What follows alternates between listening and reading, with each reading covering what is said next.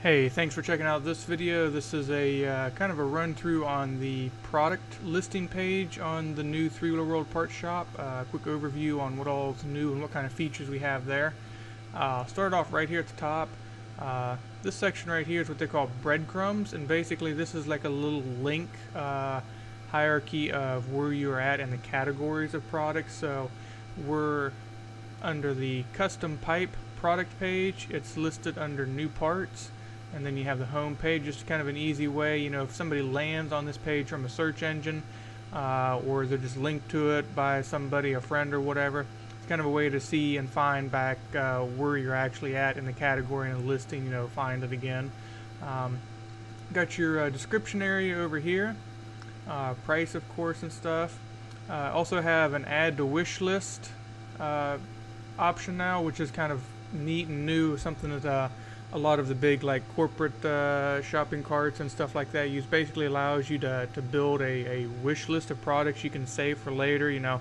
If you're at uh, the computer at 3 o'clock in the morning you know kind of going through and adding stuff to a build list for future use or whatever um, it'll basically save all those products to a list and you can come back and check it out later on and, and pay for it. It's pretty cool. Um, got some social media links and stuff here. You know you can like it and share it on uh, Facebook, Twitter, which I, I, don't really use, but it's there. Uh, Google Plus, if people are still using that. Um, also, still got uh, pictures, really nice, high quality, high resolution uh, photo display was important to me. Kind of, I'm a half-ass photographer. Um, it was important to me to, to make an upgrade on that from the uh, the old shop. Uh, get nice, high quality pictures there for for people's products.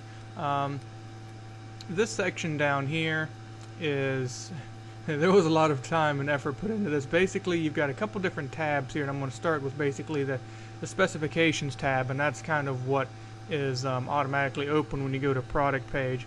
All these fields and forms here are custom, basically made attributes to the store that I came up with that I think are specifically for people, you know, wanting to list and sell or buy three-wheeler products would find useful. Um, and there's in the seller area where you list products, there's a lot more of these. But just certain things like fitment year and there's um, boxes, you know, you can check what specific year it is that it fits. And then these uh, products are actually sortable by this criteria. So when you're searching for something, you know, you can go to the 250R category and then hit another box and you only search for 85 and 86 products and you're not where you're not getting first gen or second gen parts or vice versa and that will work with any of the categories it's listed in. Um, there's a field here for OEM part number you know if it's a reproduction part or replacement uh, that would be there. And again there's a whole host of these um, in the seller listing area um, that you know people can can fill in. The link to the three wheeler forum thread I was thought was kind of a cool idea you know if you've got a product that um, you know you worked on and kind of brought to market and did your R&D and stuff you can paste in a link to the board there and it'll actually um, you know basically load up the the thread for people to kind of see where you came in and did all your work and stuff on it. So that was pretty cool. Um, next tab here is reviews and this is a, uh, a, way for customers and people that have bought the product to write a little review for you on what uh, you know their uh, results were uh, and getting it and using it. Um, they are basically processed manually. They have to be approved before they're posted, so you're not going to get like spam posts or anything like that to worry about, which is uh, always a good thing. Um, there's also a shipping calculator that's based on the criteria that is put in whenever the product is listed. So I can just hit get rates for United States and it loads and tells me it's seller's choice shipping. It costs 25 bucks to ship this. Um, formatting here is a little bit, we're working on that still, but it, it all works and functions obviously. Um, seller info is pretty neat. This is a kind of a, a new thing also. Um, for every product that's listed on the store, there is a seller info tab, and it kind of gives you a little bit of information here about the uh, the, the seller of the of the product. And you've also got a uh, contact them button that opens up a window here, and you can type a message and send.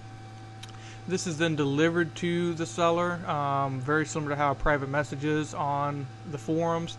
Uh, they'll get an email notifying them they've been sent a message with the content and then you log in and reply to you know people have a question about can they get a variation in this or whatever, you know, whatever you would need to be contacted for or contact a seller and ask questions on, um, you can do that.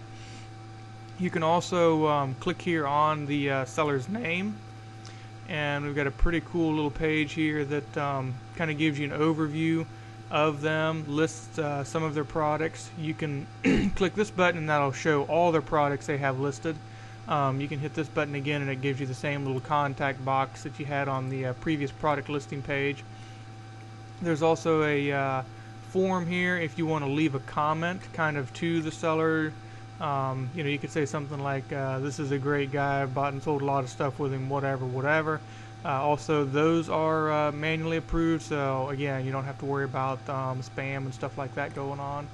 Um, so that's pretty much a uh, overview of what the uh, product page is like. Um, again, there's been a um, lot of changes and stuff here. This this particular area spent a lot of time on um, laying out exactly how I thought would work best um, for people.